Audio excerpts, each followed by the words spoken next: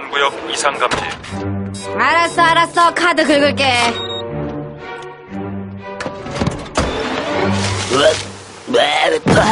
콜스키, 어떤 상태인지 분석하라. 음, 조바심이 나면서 날카로운 상태긴 하지만 아예 이성을 잃을 정도는 아닙니다. 저 기계 말이야.